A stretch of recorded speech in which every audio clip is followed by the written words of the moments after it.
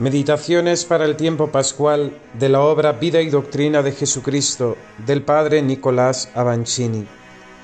Por la señal de la Santa Cruz de nuestros enemigos, líbranos Señor Dios nuestro, en el nombre del Padre y del Hijo y del Espíritu Santo. Amén. Poniéndonos en la presencia de Dios, adoremos su majestad infinita y digamos con humildad. Omnipotente Dios y Señor y Padre mío amorosísimo, yo creo que por razón de tu inmensidad estás aquí presente en todo lugar, que estás aquí, dentro de mí, en medio de mi corazón, viendo los más ocultos pensamientos y afectos de mi alma, sin poder esconderme de tus divinos ojos. Te adoro con la más profunda humildad y reverencia, desde el abismo de mi miseria y de mi nada, y os pido perdón de todos mis pecados que detesto con toda mi alma, y os pido gracias para hacer con provecho esta meditación que ofrezco a vuestra mayor gloria. Oh Padre eterno, por Jesús, por María, por José y todos los santos, enseñadme a orar para conocerme y conoceros, para amaros siempre y haceros siempre amar. Amén.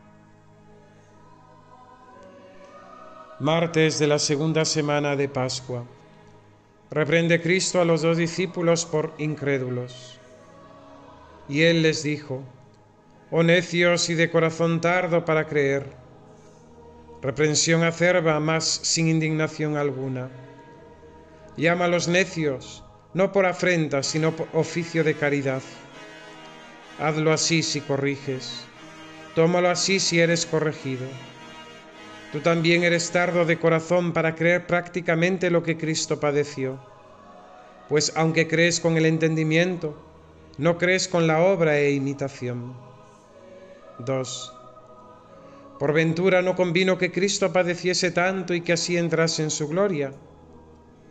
Dase la causa de la reprensión, que es porque no creían bastante esta verdad. Créela, créela tú convino por la necesidad de la satisfacción, por la utilidad de la redención, por la fuerza de su amor para con nosotros, por el ejemplo de la imitación.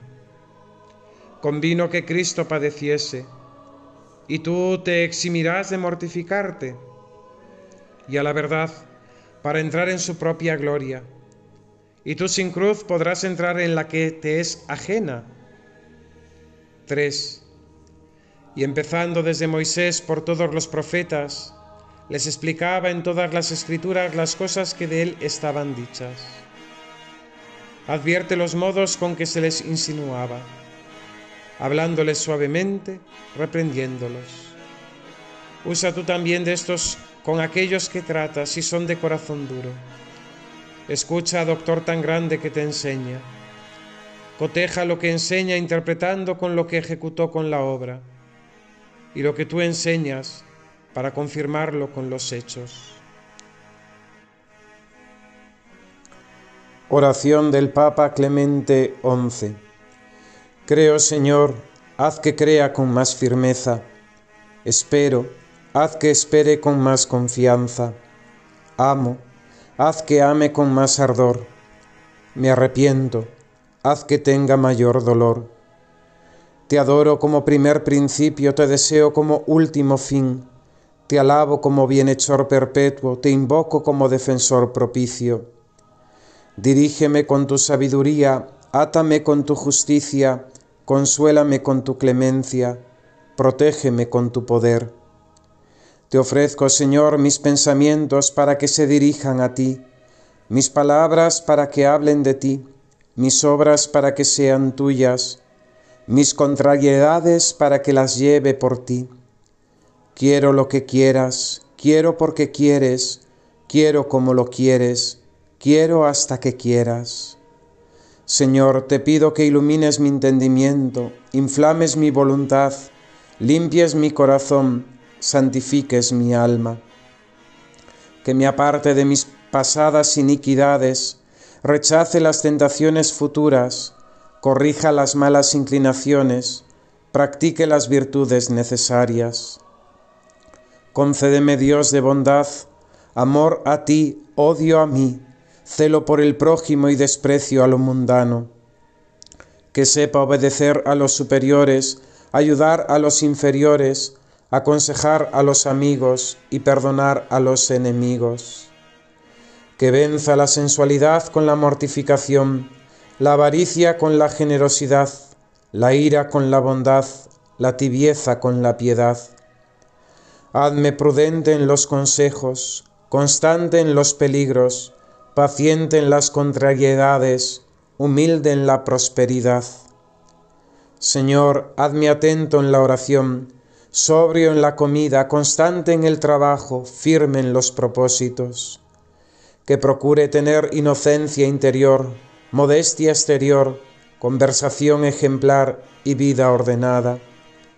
Haz que esté atento a dominar mi naturaleza, a fomentar la gracia, a servir a tu ley, y a obtener la salvación.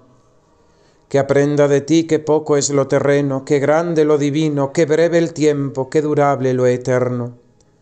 Concédeme preparar la muerte, temer el juicio, evitar el infierno y alcanzar el paraíso.